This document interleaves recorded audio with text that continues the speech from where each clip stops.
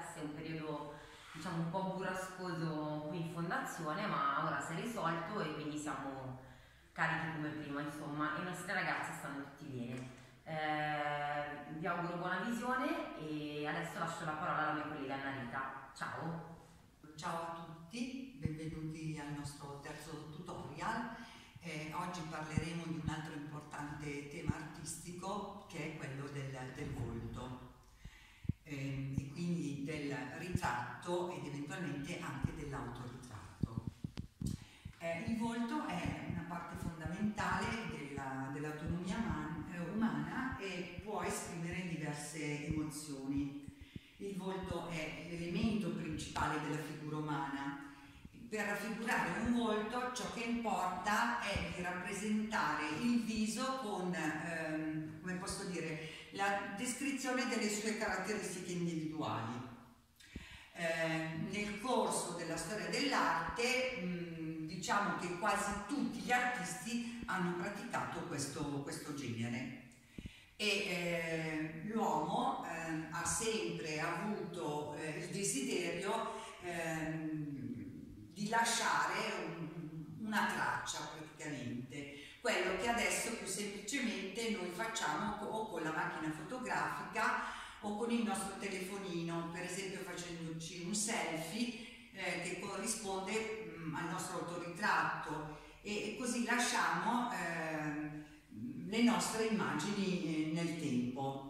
Nella trascrizione schematica delle parti del corpo, per mezzo di figure geometriche, la testa è paragonata ad un ovale, che però può avere delle proporzioni diverse a seconda della persona che abbiamo davanti.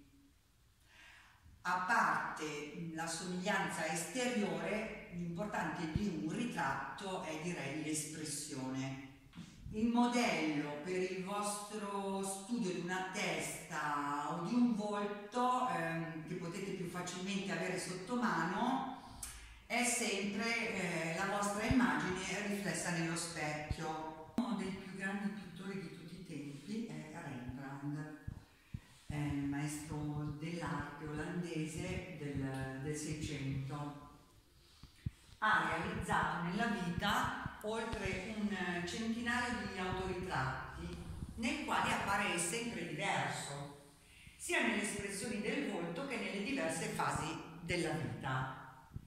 In poche parole, se noi mettiamo in fila i suoi autoritratti, si potrebbe leggere benissimo la storia della sua vita noi invece lo facciamo attraverso la fotografia.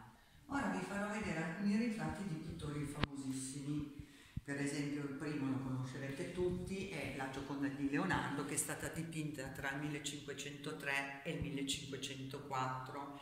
Figura enigmatica e androgina appunto eh, ritratta da eh, Leonardo da Vinci. Poi uh, un ritratto della moglie Jane di Amedeo Modigliani del 1917-18, il ritratto di Dora Maar seduta eh, musa di eh, Picasso del 1937 e la famosissima eh, Marilyn Monroe di Andy Warhol più recente del 1967. Ora, se osserviamo il nostro volto oppure il volto di un'altra persona, noteremo che non sempre appare ai nostri occhi la stessa espressione. Secondo gli esperti, le emozioni primarie dell'uomo sono all'incirca 6 e qui eh, vi faccio alcuni esempi. La persona felice, una persona triste, una arrabbiata e una sorpresa. Allora, secondo gli esperti, come vi avevo detto, le emozioni primarie dell'uomo sono all'incirca 6, ma grazie però ai nostri muscoli facciali noi siamo in grado di esprimerne molte ma molte. Se noi proviamo per esempio a prendere uno specchietto da trucco oppure a metterci di fronte ad uno specchio che abbiamo a casa ed eserci- e ci esercitiamo a, a fare diverse espressioni, eh, so, provando per esempio a sorridere, mm, a ridere di gusto, a piangere, ad essere felice, arrabbiato, oppure a fare un'espressione di disgusto, noteremo che i vari movimenti della bocca e degli occhi cambiano eh, la forma del nostro viso. Ora vi farò vedere i vari passaggi eh, per come disegnare un, un volto. Allora prendiamo semplicemente della carta semplice, un pennarello, una matita, quello che volete e cominciamo a innanzitutto osservare le proporzioni di una testa e cominciamo a tracciare il nostro ovale. Allora, cercando di farlo più grande nella parte superiore e più affusolato nella parte inferiore, praticamente tipo un uovo. Questa è il primo passaggio. Secondo passaggio sarà quello di praticamente inserire all'interno del nostro ovale una linea verticale che taglia a metà diciamo la nostra testa, il nostro volto. Nel terzo passaggio io lo farei sempre qua, inseriamo anche una linea orizzontale a metà. Facciamo in poche parole una croce e dividiamo il nostro volto in quattro parti. Ora possiamo inserire, un attimo perché devo rifare l'ovale di nuovo, allora facciamo l'ovale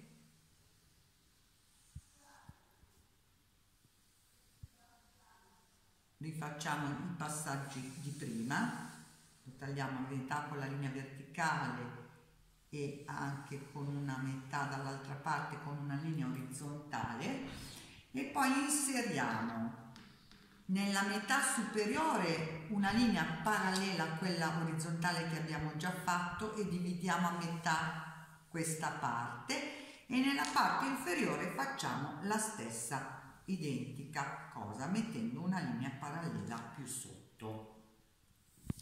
Allora adesso sulle righe tracciate disegniamo le varie componenti del nostro volto. Mm?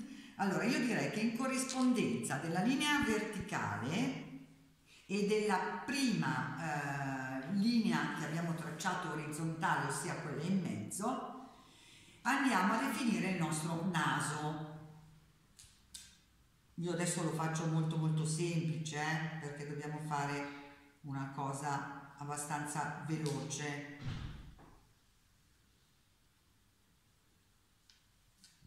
Nella parte della linea invece orizzontale superiore andremo a mettere i nostri occhi.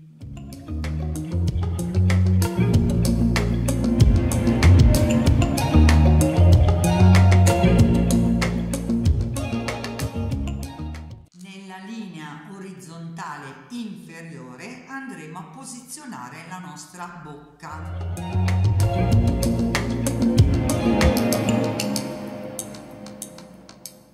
Se vogliamo andare a vedere le proporzioni, eh, praticamente la fine della nostra bocca deve corrispondere con la metà delle nostre pupille.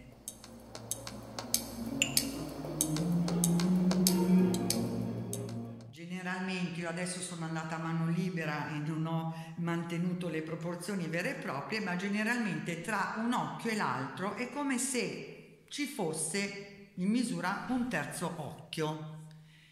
La distanza tra un occhio e l'altro dovrebbe essere un terzo occhio. Se poi vogliamo andare a posizionare le orecchie, a fare le orecchie, le andremo a fare dalla linea centrale orizzontale alla linea del, dove eh, abbiamo posizionato gli occhi.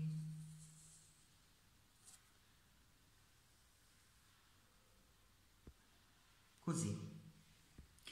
Allora, praticamente le orecchie vanno posizionate tra la linea del naso e l'estremità più o meno degli occhi o delle sopracciglia. Mm? Se poi vogliamo sopra gli occhi per definire, per migliorare lo sguardo, possiamo disegnare le sopracciglia. Per definire lo sguardo possiamo posizionare le sopracciglia.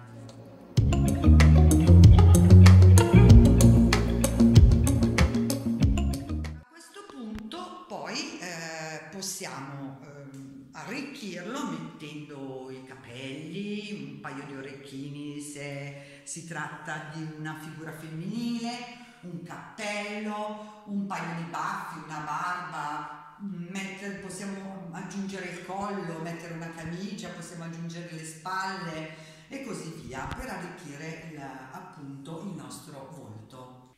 Allora, per esempio, nella, nello stile di Picasso, che è uno stile inconfondibile, nella pittura cubista, eh, le figure che lui ritrae si scompongono nei suoi quadri, quasi sconvolgendo tutti i canoni della, delle proporzioni.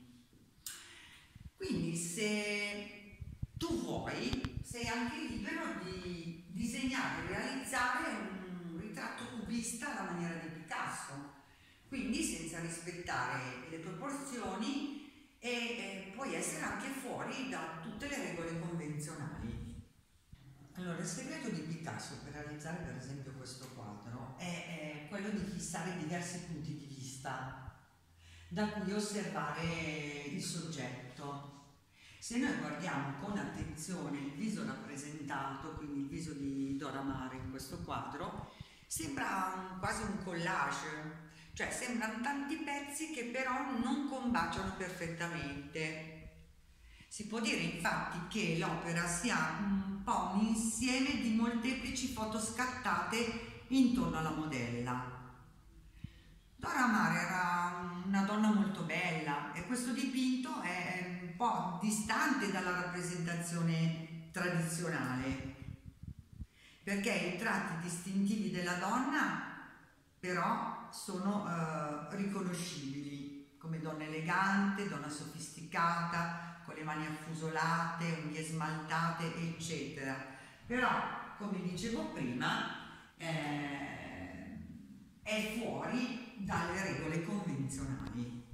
Allora potete eh, utilizzare per il vostro ritratto o autoritratto qualsiasi tipo di tecnica, proprio liberamente potete appunto qui ho messo alcuni materiali, usare sia gli acquarelli che le chine piuttosto che gli acrilici, le tempere, pennarelli, pastelli, ma anche in bianco e nero semplicemente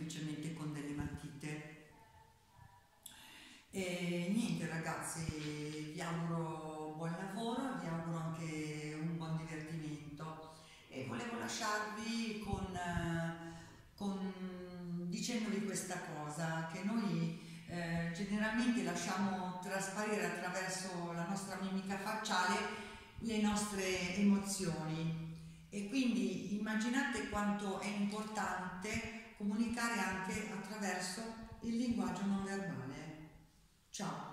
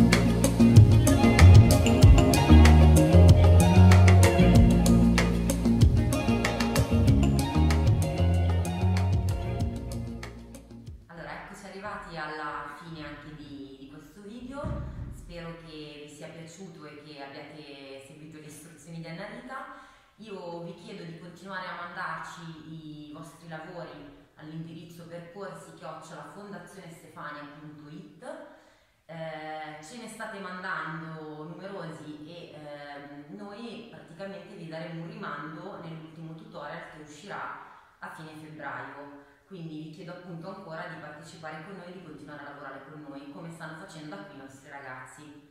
Io vi ringrazio per l'attenzione e ci vediamo tra circa un mese con eh, il quarto tutorial che sarà anche l'ultimo Ciao e grazie mille a tutti.